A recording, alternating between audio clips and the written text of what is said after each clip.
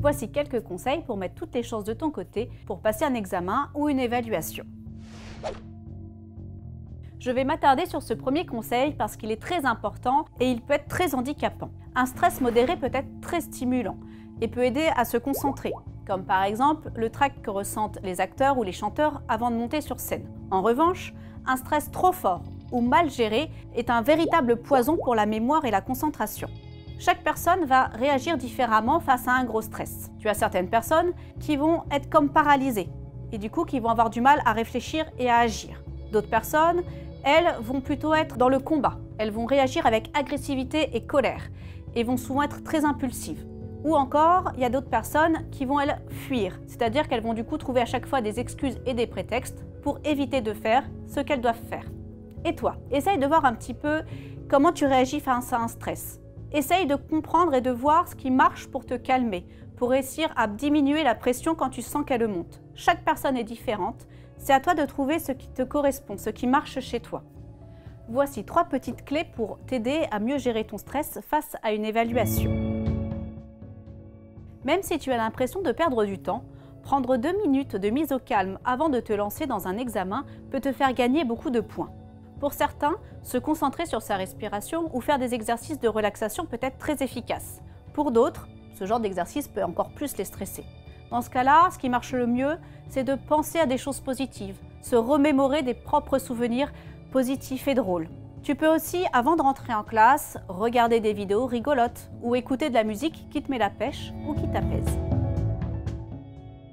Pour limiter le stress, il faut que tu travailles un maximum avant l'évaluation qui te permettra de lâcher complètement prise le jour J, voire la veille. Ça te permet ainsi de te lancer en disant bon bah de toute façon je vais faire le maximum de ce que je peux faire. Un peu comme un sportif en fait qui s'entraîne à fond pendant des mois avant une compétition, mais lâche prise les quelques jours qui précèdent. Si tu passes un examen ou un concours décisif pour ton avenir, prépare-toi un plan B en cas d'échec. Le simple fait de te préparer un plan B enlève énormément d'anxiété et ce qui te permettra en fait de mieux réussir. Il est donc presque à parier que tu n'auras pas besoin de ce plan.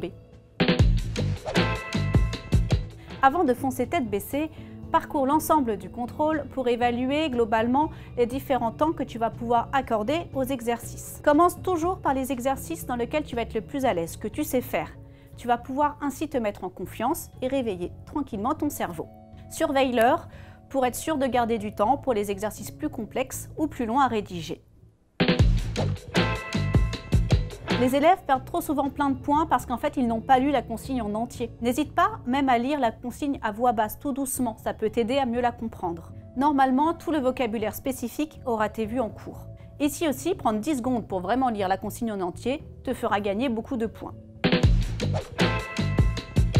Si un exercice te pose problème, ne reste pas bloqué trop longtemps dessus. Passe aux exercices suivants, tu reviendras plus tard. Ça évitera de perdre trop de temps et d'augmenter ton stress. Et puis en passant à autre chose, tu vas voir que ton cerveau prenant de la distance, il n'est pas rare qu'en fait la réponse te vienne spontanément à l'esprit. Le conseil que tous tes profs te donnent, mais que tu négliges souvent, c'est de te relire avec un esprit critique. Prends de la hauteur avec ta copie. Mets-toi à la place du correcteur et essaye de vérifier la cohérence de tes réponses. Ne cherche pas forcément à recracher ton cours. Fais confiance aussi à toutes les connaissances que ton cerveau a appris. Fais confiance à ta réflexion. Ce n'est pas parce que tu connais pas ton cours sur les bouts des doigts que tu ne peux pas t'en sortir. Et petite astuce, en prenant de la hauteur, tu vas aussi te rendre compte que tu as souvent dans les consignes les réponses aux questions précédentes, du genre euh, quelle est la couleur du cheval blanc d'Henri IV Si, si, je te promets, la prochaine fois, fais bien attention.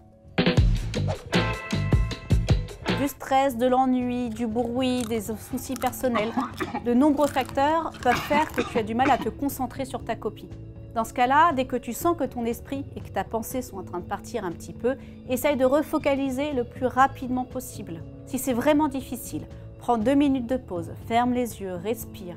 Affronte ta pensée. Si c'est un problème que tu peux résoudre tout de suite, prends tes deux minutes pour le résoudre. Si c'est un problème trop gros, bah, tu peux dire quelque chose comme euh, Bon, ok, là j'ai compris le problème, mais c'est vraiment pas le moment, on se donne rendez-vous à 14h, d'accord? Et hop, on s'y retourne. Oui, je sais, je radote. Mais si tu viens en éval, le ventre vide, ou au contraire, t'as mangé des frites, des beignets, des glaces, une raclette. Je te souhaite bon courage pour te concentrer. Et si en plus tu n'as dormi que 4 heures la veille, eh ben, je te souhaite encore bien plus de courage. Pour les examens qui durent plusieurs heures, je te conseille de venir avec de quoi te resucrer et te réhydrater. Pour rappel, ton cerveau consomme du glucose. Alors, offres-en lui en disponibilité immédiate, que ça soit sous forme de bonbons, de boissons sucrées, de fruits secs, etc. Allez, bon courage Révise, respire et réfléchis.